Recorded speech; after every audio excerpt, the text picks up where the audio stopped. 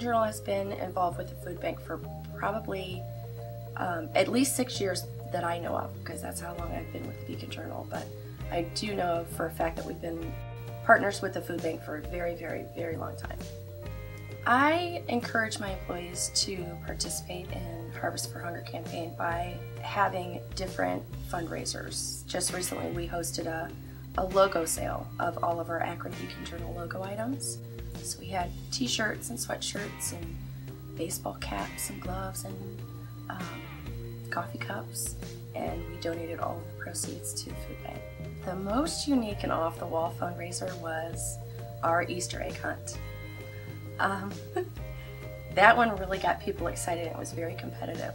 We've had chili cook-offs, we've had a St. Patty's Day lunch with a trivia game, you know, involved with it to make it a little bit more exciting. But anything that has to do with food, um, you know, people love that.